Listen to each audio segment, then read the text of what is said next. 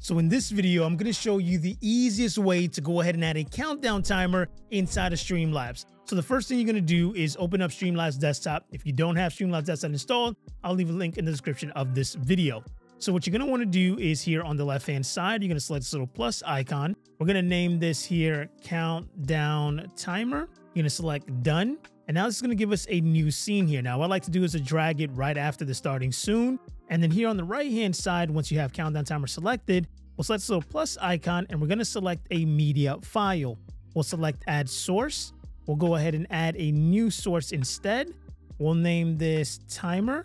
Select add source. And now it's going to ask us to go ahead and locate our file. Now the easiest way to be able to add a countdown timer is to utilize a countdown timer overlay. So for this example, I'm going to go to streamdesignz.com and I'll put a link in the description of this video. Now, they have tons of animated overlays you can go ahead and choose from to match your style, but you can also go ahead and select just countdown timers by themselves to be able to go ahead and utilize. Now, I'm going to go ahead and utilize the Pixel World one that matches my package. And you're going to see here that it's going to be an animated countdown timer that's going to begin counting down from five minutes. So once you go ahead and have your countdown timer overlay, you'll come back to Streamlabs, you'll select browse, and if you went ahead and got your countdown timer from Stream Designz, it's going to initially come in a zip file just like this. If you're on Windows, you're going to right click, select extract, and that's then going to go ahead and create a folder here for you. If you're on Mac, you're going to double click, and that's going to create a folder here for you.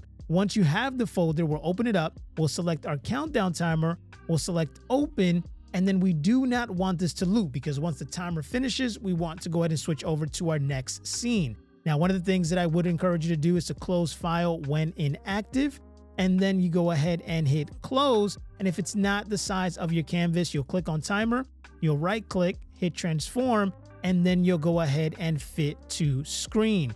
And now we go ahead and when we switch over, we can go ahead and have our countdown timer begin from five minutes to go ahead and build up some hype for our stream. Now, if you want to be able to learn how to set up any other overlays inside of Streamlabs, go ahead and watch this playlist right here where I walk you step by step on setting up every overlay in Streamlabs to make your stream look professional. I'll see you guys in the next video.